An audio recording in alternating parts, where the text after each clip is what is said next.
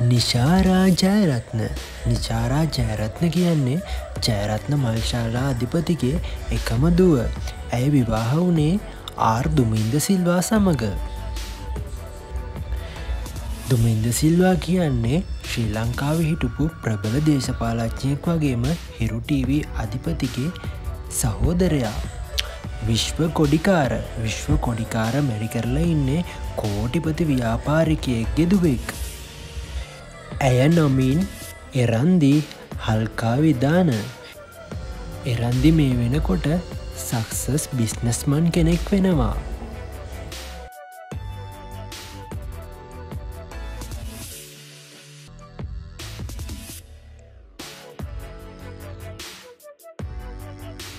නිතිෂා ජයසේකර මහින්ද රාජපක්ෂගේ පුත්‍රයා වන යෝෂිත රාජපක්ෂගේ ආදරණය බිරිඳ තමයි නිතිශා ජයසයකර කියන්නේ.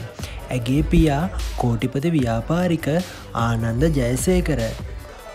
ඔබ කවුරුත් දන්න සෙංකට කළ ෆිනෑන්ස් එකේ අධිපති තමයි ආනන්ද ජයසයකර කියන්නේ. තවද නවලෝක පෙට්‍රෝලියම් එකේ ඩිරෙක්ට කෙනෙක්ද වෙනවාහු.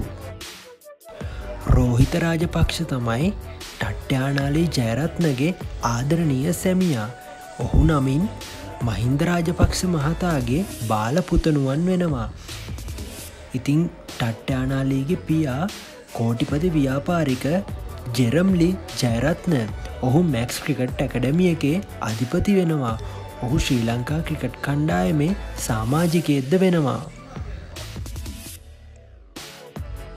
මහින්ද රාජපක්ෂ මහතාගේ ආදරණය ලොකුපුතා තමයි නාමල් රාජපක්ෂ ඉතින් නාමල් රාජපක්ෂගේ ආදරණය බිරිඳ තමයි ලිමිනි වීරසිංහ කියන්නේ.